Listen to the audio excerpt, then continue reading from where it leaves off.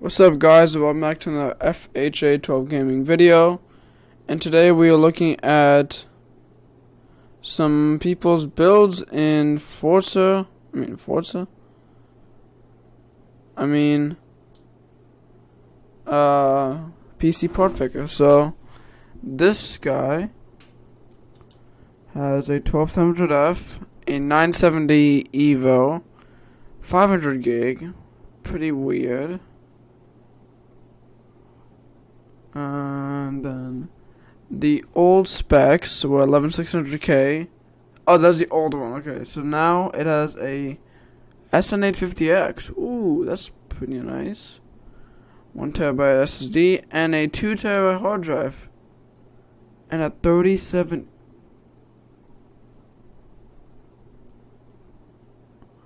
I'm sorry, how much? A 3070 D Ti for a thousand dollars? Jesus Christ. I'm sure 3070. Oh my god, 118.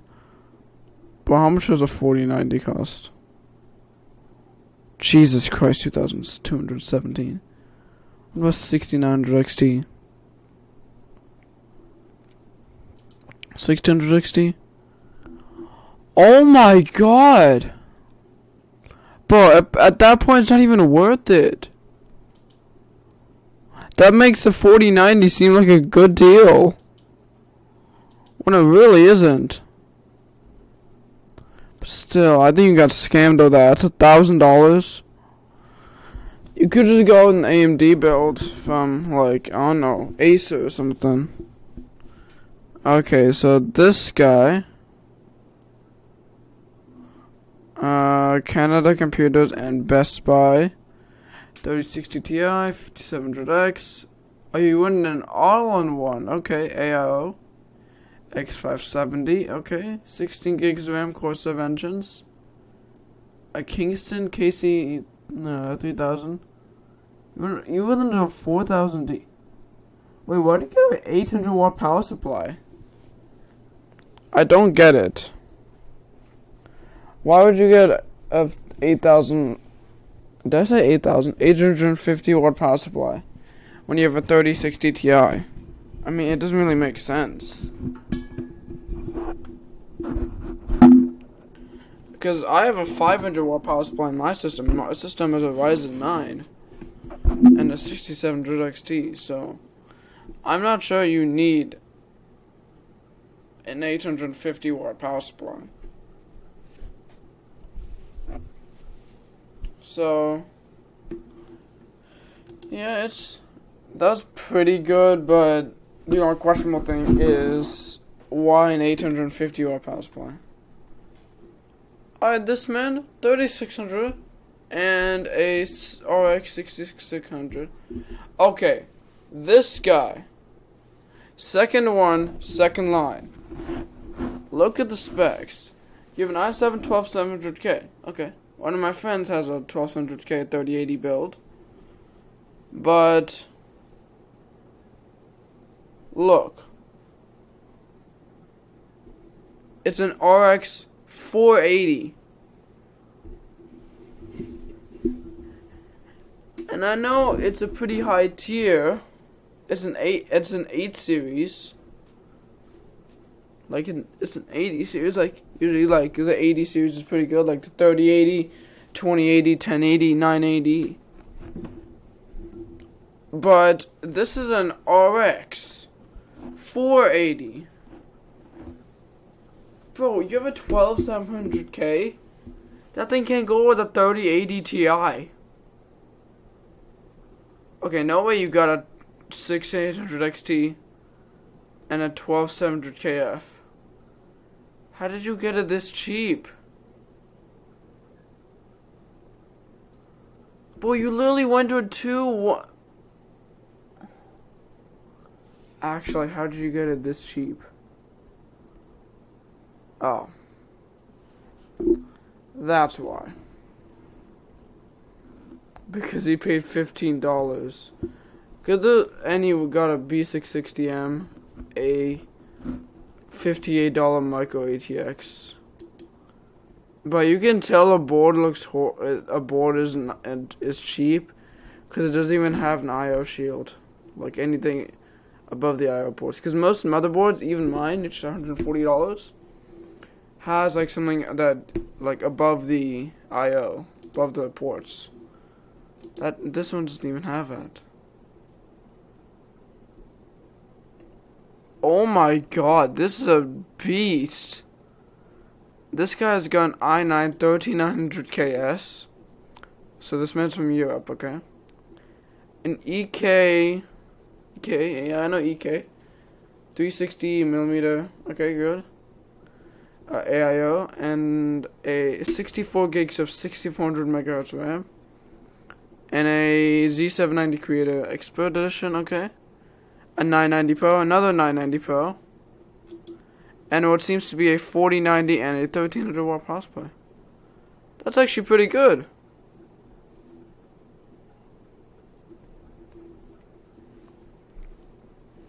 Oh, it's nice you chose mod you chose a modular power supply. For the Netherlands, that is 4,715 euros. For a 4090 build, that's actually it's not a great price, but okay. Okay, this man. Second line. Third one. This man has a different. He got a 1060, which is, even in 2023, a pretty good graphics card. It's still quite popular. Because of how cheap you can find them, and still, they're pretty good. 6 gigs of VRAM, it is GDDR5, but still, it's good enough in playing like most games in 1080p, like low or medium settings. So yeah, it's pretty cool, pretty good. You wonder the 2700X, which is actually a pretty good CPU, eight cores, pretty high clock speed, all that stuff. Oh, this man with, went with a seven thousand dollar, and by looks of it, it's in the whatever it's called.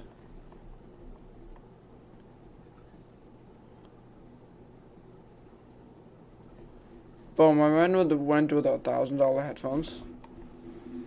So he has two wireless keyboards, an Odyssey G7, three sets of Phanteks fans, a 4090. Bro. Okay, I actually don't get it. How, how are we able to get this for $1,400? Okay, that's wrong tab. I can't even get. Oh, never mind. Ooh, this is the first ARC build I've seen.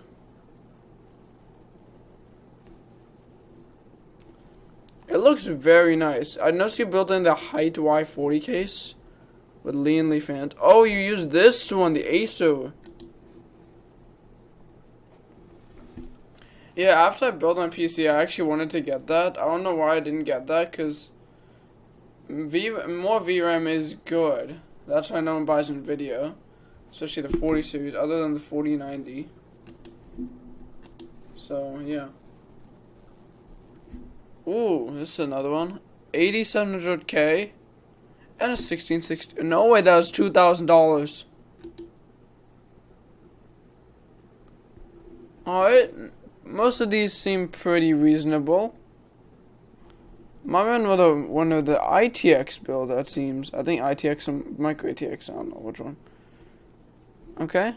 All these, okay, 5600 with a 2080 Ti. That's a bit unbalanced, but I'll let that pass. A 13700K with 3060. Okay, I will not let that pass. That's fine. Yeah, that's fine. Bro, that's the first 4060 build I've seen.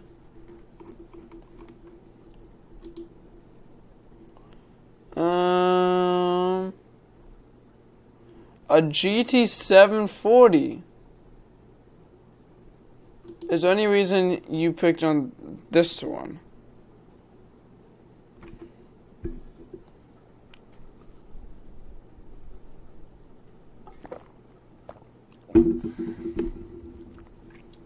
You went with a quad core 4th gen i5, an EVGA superclocked GT740, a 120 gig SSD. Bro, my man trying to get like an actual bang for the bucks. No way that was 750 watts. Bro, my man spent 150. Bro, he spent. He actually. Jesus Christ. He spent more on the power supply than on the GPU.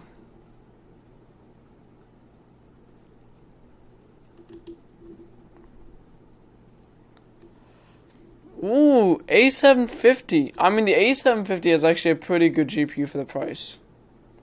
5728 Ti. Okay. High proof. Yeah. Yeah. Yeah.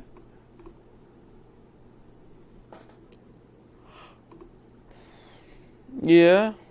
Yeah.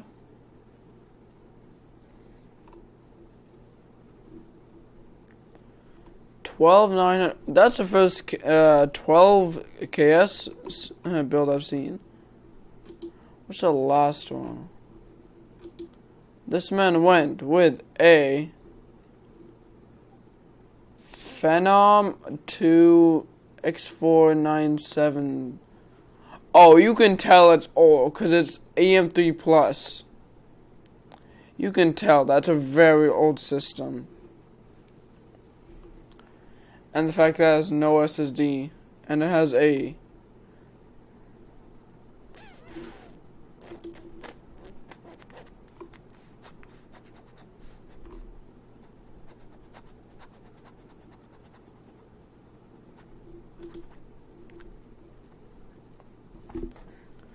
Yeah, that's an older AMD. Bro, my man has a 60 gig SSD. I didn't even know you can get those. And then a 1 gig GPU. Okay. Okay.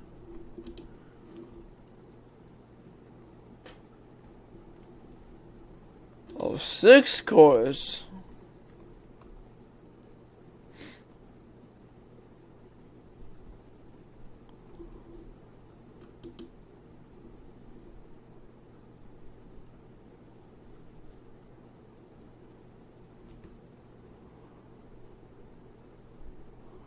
Alright. Anyway, probably gonna be it. Hope you enjoyed this video. Remember, like and subscribe for more vids. Check out my Twitch channel at FHA12 Gaming. And remember, like and subscribe. Check out my other 4 2005 videos. And goodbye.